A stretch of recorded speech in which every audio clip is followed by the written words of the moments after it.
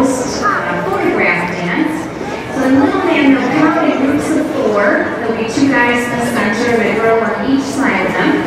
The girls will be putting their arms across the guy's shoulders and, and holding hands. And as the guys stand up tall and start to walk around, the girls' feet will lift up off the floor and they'll be flying through the air. They'll do this for you three times. On the second time, watch as the girls go flying. And the third time, our group in the center is going to use a different hand hold, which allows the girls to spin a little higher and a little